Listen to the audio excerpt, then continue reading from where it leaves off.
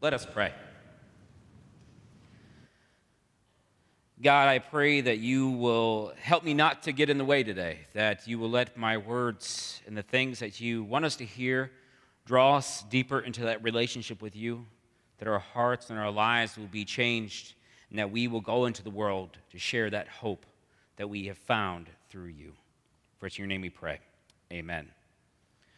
Well, we are continuing our series on Love Breaks Through, and today I'm going to be sharing. Uh, my story of how I came to Christ, how I became a Christian. And so I'm sharing how love breaks through as a caring friend. And I want to, you to know today that as you hear uh, the other pastor stories, my story, you have a story as well. That all of our stories matter how we have met Christ, how, we, how we've been changed by Christ, because I could share my story and it might not really fully touch someone, but you might be able to share your story and they might really connect with it. So, hearing our stories of what God has done in us, I want you to feel that, that urge, that challenge, that courage from God to share what God has done in your life. Uh, you probably will not have as long, I kind of have a captive audience uh, here this morning but just knowing and being able to share, this is how God has impacted me. This is how God has changed my life is crucial and is important and it matters. And so for my story, I did not grow up going to the church.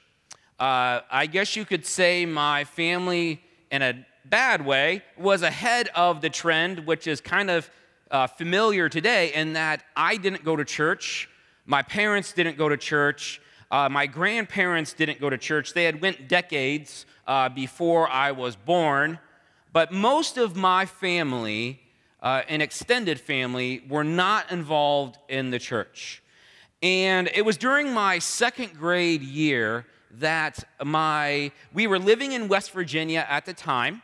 I was born in Iowa, but my dad had got transferred uh, for work to Parkersburg, West Virginia. And during my second grade year, my dad uh, decided to divorce my mother.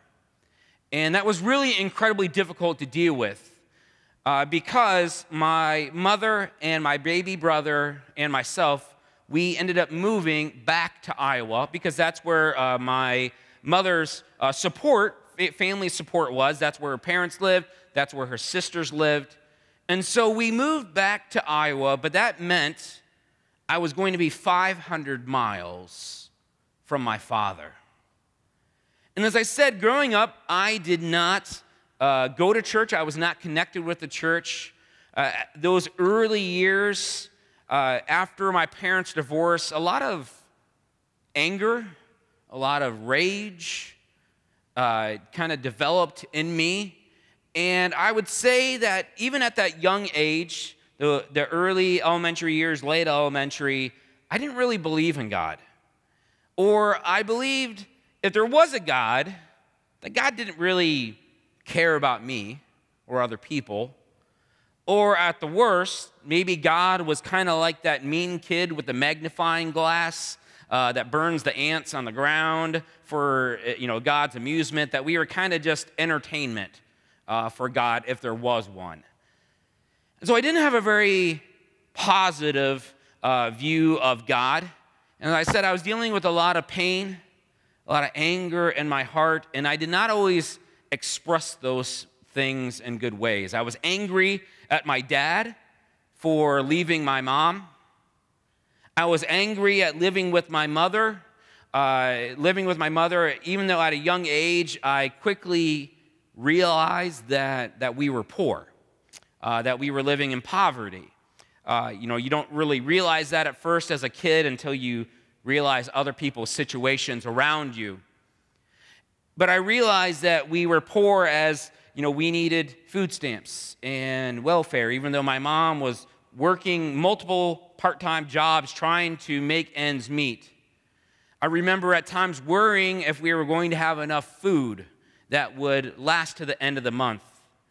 I remember at times we would have peanut butter, but it wouldn't say Jif on the side. Some of you maybe are familiar with this, but it just had a white, it was like a tub, uh, almost like a Folgers can, and it just said, it was a white label, black block letters that said peanut butter. Um, let me tell you, if you've never tried that peanut butter before, uh, it does not spread on bread. Um, it, it, it comes out in chunks and just stays in chunks and does not spread. But that's what we had. I remember at times having clothes that were probably too old, too tattered. I remember at times where I needed a haircut, but we just didn't have the money to afford that.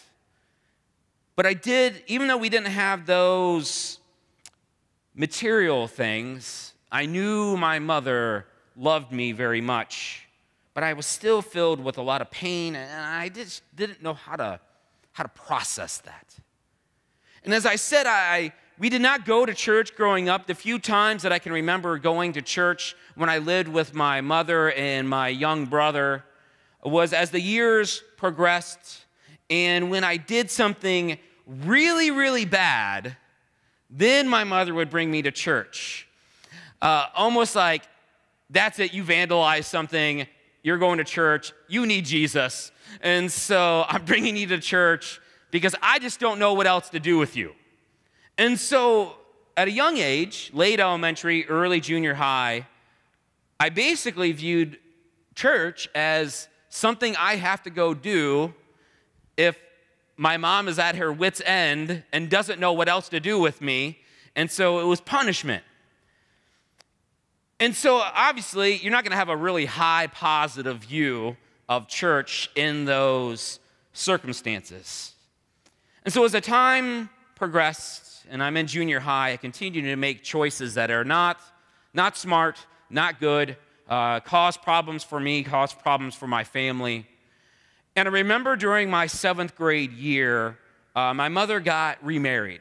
Now, my dad, he had got remarried pretty quickly uh, after the divorce, which that also made me angry. Uh, but I, my mother got remarried when I was in seventh grade. And my mother married a man that she didn't realize at the time, but was abusive, and especially to his own daughter and was uh, addicted to drugs. Uh, she, my mom found out that she was uh, that he was taking her money and buying drugs with it. And my mom, uh, who uh, she's gone, she's passed. She passed in 2011. Uh, but my mother, when she was alive, was a very strong-willed woman, a very passionate woman, uh, very stubborn. Uh, now you know where I get it from. And so she did everything she could to try to make that situation better, but it was a bad situation. And I remember even at that young age, I was 13, kind of looking at my choices, my family's, my life around me, and even at that young age of 13 years old, I felt like my life was kind of spiraling down a bad path. And so I made the decision at the beginning of my eighth grade year, I made the decision that I was going to go and live with my father, to move 500 miles back to West Virginia, to leave my mother and my younger brother and live with my father. I, I thought if I just had a change in scenery, maybe that would change how I felt, change my circumstances, and when I moved with my dad, and moving in junior high is tough. Uh, and actually, you can even remove that disclaimer and just say junior high is tough, because junior high is tough. Uh, but moving your eighth grade year to a new school, trying to make friends, uh, can be quite challenging. And so I remember moving, and I kind of fell into some of the same bad habits uh, that I did before, where I quickly remembered that if I could just act like a class clown, act up, that some people would find me funny and want to be friends with me. And so that's what I did. And those who didn't think I was funny or got in my way or insulted me, I was quick to get in fistfights with them and get in trouble at school. And so, even though I was in this new situation, I kind of fell into some of the same traps. And it was kind of an odd thing because with my mother, we struggled with the material things, yet I knew my mother loved me. Yet with my father, we didn't struggle at all with those material things. We had those, but because of my father's background, uh, he had uh, been in foster homes growing up throughout his life. It's a very challenging thing to have to go through. Uh, while he was able to provide those material things, it was very hard for him to communicate uh, emotions or affection because of his upbringing. So it was almost flipped from my mom. And as I said, I went through a lot of challenging situations growing up, but there was a turning point. There was a, a, a catalyst experience that I had that made a difference. And that was I became friends with Jonathan, who goes by John and now, and he lived up the hill from me. And Jonathan was very different than myself. Jonathan was very caring, very kind, compassionate, generous. And all that flowed out of his relationship with Jesus. He was a Christian, and so was his family. But one thing that Jonathan and I had in common was our love of basketball. We would play basketball all the time. It didn't matter, you know, it didn't just have to be sunny, it could be rainy or windy or snowing. We would, even if it was snowing, I remember we would build like a little ramp up uh, to the hoop, so you know you'd have to travel, but you could travel and jump off the ramp of snow and then dunk it. And so the snow didn't stop us. We played basketball all the time. The thing that would stop us from playing was Sunday mornings, Sunday nights, and Wednesday nights. That's when John and his family would go to church or when John would go to youth group. And I can remember trying to encourage John not to go to church. You know, one of your pastors now encouraging people not to go to church. And I wasn't very creative, uh, so uh, I called him Church Boy. Um, like I said, not very creative. And I remember saying to him, Come on, Church Boy. Like, you don't have to go to church all the time. God's not going to smite you if you stop and play basketball with me a little bit longer. Like, come on, man. You don't need to go. And John was faithful. John was like, I need to go. I want to go. You're welcome to go with me. But I would, I would laugh at that idea. I would say, I don't need church. I don't need God. And he would go. And the thing I remember, another thing that sticks out to me about John was even though I believed a lot different than him at that time, it was clear to me that John loved God and that John loved me. That John not only would invite me to church, but he was faithful in living out uh, his faith in his life. Uh, and John would also share with me why he went to church, why he followed God, why that was important to him. And he did it in kind and compassionate ways. And it reminds me that caring friends change lives when they embody God's love. If you take anything with you today, take that. That caring friends change lives when they embody God's love. It reminded me of our story that, that Teresa read for us today. And that is that story with Philip and Nathaniel how Philip encountered Jesus and he went back and he was changed and he went back and he found Nathaniel and he went to Nathaniel and said, Hey, you got to come see this. You got to encounter, you got to meet Jesus. He's who we've been waiting for. And so Jonathan kind of reminded me of Philip, and I kind of reminded myself of Nathaniel with the skepticism, where Nathaniel was kind of like, eh, I don't know about all that. I, I, Jesus from Nazareth, you know, did anything good ever come from there? And so for me, it reminded me of Nathaniel, where my friend was kind and compassionate, generous, gracious to me, would, would invite me to church and tell me about Jesus, and I was still kind of like, ah, I don't know. And then it was during my ninth grade year, the middle of the year, and my friend John invited me to a Super Bowl party. Now, this is where uh, you know, this was before everyone had like big screen TVs and, and things. So it was, you know, it was a big drawing point uh, for the youth group. And so I remember John invited me to a Super Bowl party, and I say he tricked me. He says he didn't. But I remember John inviting me to the Super Bowl party, and I thought, sure, football, you know, party, food, count me in. And, and I remember as the Super Bowl party came, asking, well, where is this at? Where are we going? And he told me we were going to his church, uh, going to his youth group's Super Bowl party. And I thought, you, you tricked me, man. Like, that's not right. And, and so I started making jokes and saying, are we going to have to sing Kumbaya at halftime? You know, are, are we going to have to pray after each quarter? Uh, are we going to have to baptize the nachos? You know, like what's, what's going to happen here? Because really, I didn't have a clue about the church. I didn't know who Noah was or Moses or, or Jesus or any of that kind of stuff. And so, he, you know, being the, the caring friend that John was, uh, he said, dude, just shut up and uh, just come, have a good time, check it out. And so I went. And I went and I was kind of like Nathaniel, where I was skeptical. I went and I wanted to see how did these people treat each other? You know, did they treat people the same way I did?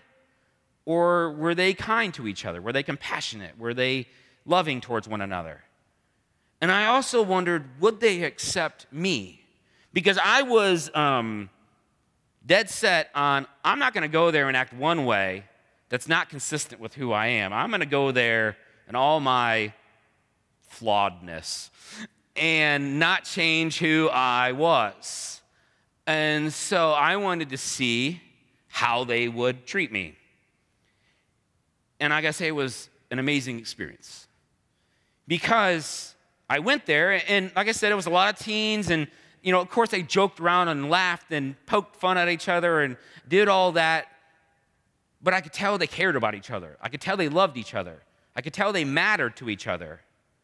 And then I could also tell that they accepted me. That even though I, I wasn't from their church, I wasn't a part of their youth group at that time, I could tell that I was welcome, flaws and all. So I remember going home and kind of, uh, it threw me for a loop a little bit because it wasn't what I perceived the church would be like. And I remember my friend John for the next few months inviting me to go back go back to, to church with him. And I didn't make fun of him anymore, but I just kind of said, nah, nah, I'm just not going to go this time. I'm not going to go. Then finally, near the end of my ninth grade year, he invited me to go with him to their Sunday night youth program. Now, you got to remember, mid 90s. Uh, so he invited me to go with him to their Sunday night program called Sunday Night Extreme. You know, because everything had to be extreme or rad or whatever during the 90s. And so we went and I agreed to go with him. And I remember we, we played some games. I remember we, we sang some, some songs. At that time, we didn't have like the cool PowerPoints. It was like the, the little projector with the clear screens with the, the words written on them, and you would have to change the, the slide like that. And I remember we stood to sing those songs, and I didn't sing. I stood with everyone else, but I didn't sing because I was like, I don't know these words. I don't really know if I believe any of this stuff. And so I stood there. And then I remember when they got to the message. When they got to the message, when the youth pastor Wes was getting ready to stand up and to speak, I remember telling my friend John that, uh, that I was just going to go outside. You know, during this part, I'm just going to go outside. Uh, just come and get me when this, you know, just come and get me when this part's over. And John was like, dude, just stay. Just stay, hear what Wes has to share. Just listen to the message. So I agreed and, and I stayed. And, and maybe I heard this message before, but I, I, I couldn't remember it. But it was the first time that I could remember hearing that God not only made me, but He loved me. That God not only made the world, but He loved the world and He wanted the world to be back in that right relationship with God. that He wanted to, to forgive us of our sins and to give us new life in Christ. I didn't know that. I hadn't heard that before. I, I thought, I didn't know if God was around, let alone cared about me, loved me. So I remember that night I, I gave my life to Christ. I chose to follow Jesus. And since that time, God has continue, had been continuing to work in my life. I, I do remember, even after I gave my life to Jesus, I remember the first couple months telling my friend John, like, well, I might be a Christian, but I'm not getting up early on Sunday morning to go to church. Um, so I'll go Sunday nights, that's it. Uh, so that's your pastor once again, you know, you know, prime, like right there. But that's where I was, and God continued to mold me and shape my, my life. But I truly believe this. I truly believe that if John hadn't been that caring friend that embodied God's love, I don't know if I ever would have became a Christian. I don't know if I ever would have stepped in those doors of his church. And this church was, uh, it was if not the largest, one of the largest churches in that, that area. I mean, we had 1,400, 1,500 people in worship. Uh, they had big facilities, lots of programs, all that kind of stuff. But, but none of those things drew me in the doors. None of those things got me through those doors. The first thing that got me through those doors was a caring friend, someone who followed Christ, loved God, and was willing to invite me and share with me why Jesus mattered to him. That's what got me through those doors. And then when I did come through those doors, I had a positive experience. The other people that were there welcomed me, accepted me, and that enabled me to hear that message that Jesus loved me. So, my friends, as I prepare to wrap things up, you know, I always like us to ask, what does this, what does this matter to us today? What does God want us to hear? And the first thing I think God wants us to hear is this. If you are here and you've never heard this before, please hear today that God made you, that God loves you, and dearly desires to be in a relationship with you. It doesn't matter what you've done, where you are, how many times you've messed up, Jesus is there waiting with open arms to say, Come home. I made you. I love you. I want to be in a relationship with you. If you've already accepted that gracious gift, secondly, I believe God wants us to grow in our faith, to be those people that embodies God's love. It reminds me of Philippians chapter 1, verse 9 through 11, where the apostle Paul is talking to the Philippian church and he's telling them that he wants to see them grow into the fullness of Christ. That he doesn't want them just to have a little bit of Jesus or partially experience God, but he wants them to fully experience Christ. And I believe that's what God wants for us as well. To not just know about Jesus, but to know Jesus. Not just to have a little bit of Jesus, but to be fully transformed by Jesus, to where we embody God's love, to where then we can go into the world and we can share that hope we have with the world. As 1 Peter chapter 3 verse 15 tells us that we should always be ready to give a reason for the hope that we have and to do so with gentleness and respect. May we be transformed by God's love.